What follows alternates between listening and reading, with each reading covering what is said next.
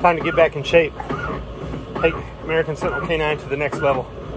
So I've uh, backslid on my personal conditioning and diet for far too long, and it's time to get it back.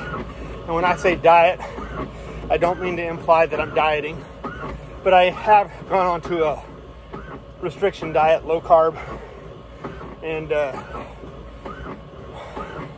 more about that later, maybe. But for now, just to take American Sentinel K9 to the next level and to make sure that I do everything in my power to be here for my children's future, we're to get back in shape. Y'all take care.